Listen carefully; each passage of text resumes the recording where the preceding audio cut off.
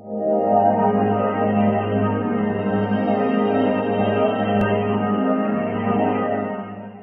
kính chào quý vị và các bạn. Hôm nay ờ, tôi xin ờ, giới thiệu về cách ờ, sử dụng máy cắt cầm tay và an toàn khi sử dụng máy cắt. Trước tiên tôi xin giới thiệu về các nút chức năng ở trên máy cắt. Máy cắt của chúng ta, máy cắt của chúng ta gồm có một cái nút khởi động. Đây là nút dừng để khởi động. Khi chúng ta để trượt lên thì nó sẽ giữ nguyên. Khi còn muốn ờ, trả về lại thì chúng ta chỉ cần ấn xuống thì nó sẽ trả về. Còn ở phía sau sẽ là có một cái nút ngắn một cái cái nút cơ cái nút này dùng để khóa trục để khi chúng ta ờ, lắp vào để, để chúng ta lắp cái ờ, đá cắt vào. Quy trình lắp nó đá cắt như sau nó sẽ bỏ cái còng này vào trước.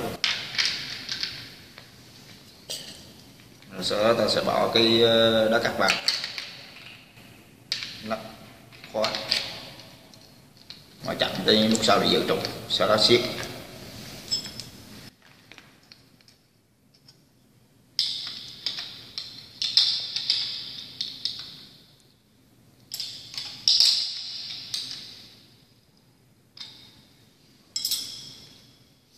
Khi lắp vào này chúng ta cần phải kiểm tra coi thử cái ờ, đá có đồng tâm với trục hay chưa bằng cách là chúng ta sẽ khởi động máy. À, trước khi khởi động máy thì chúng ta phải để ý xem coi thử cái nút này đã bật hay chưa. Nếu như đang bật thì chúng ta phải tắt trước khi chúng ta cắm nguồn. Rồi sau đó chúng ta sẽ bật thì coi thử cái đá nó sẽ quay có đồng tâm hay không.